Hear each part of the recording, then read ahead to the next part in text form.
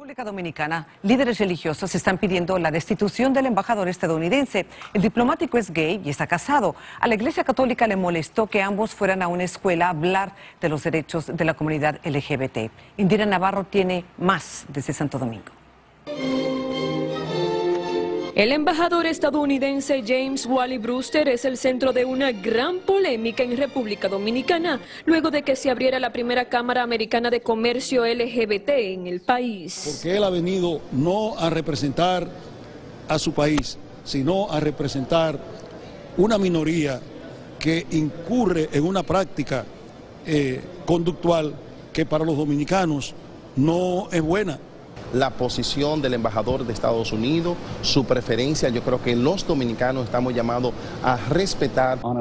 James Brewster, quien es cuestionado por diversos sectores por presuntamente fomentar una agenda gay en suelo dominicano, dijo que las críticas en su contra son sensacionalistas y llenas de odio.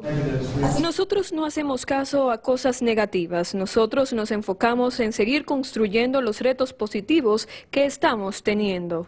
Pero para religiosos la gota que derramó el vaso fue la visita del diplomático acompañado de su esposo a una escuela pública al norte del país, donde alegan mostró abiertamente su homosexualidad a niños. A raíz de esto, colegios católicos le cerraron las puertas al funcionario extranjero. Porque el colegio está cuidando la salud mental de nuestros niños. El tratar de, imponer su preferencia para que los demás también puedan eh, acceder a ello, yo entiendo que eso no es correcto.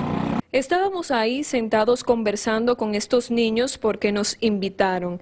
Estos niños nos contaron sobre sus problemas de ser pobres, de no disponer de suficiente comida en sus hogares. Grupos sociales y religiosos que hacen caso omiso a la posición de la Casa Blanca llamaron a los ciudadanos a no consumir ningún tipo de producto que provenga de Estados Unidos. Esto en protesta a la presencia del embajador de Estados Unidos, quien lleva casi tres años en el país.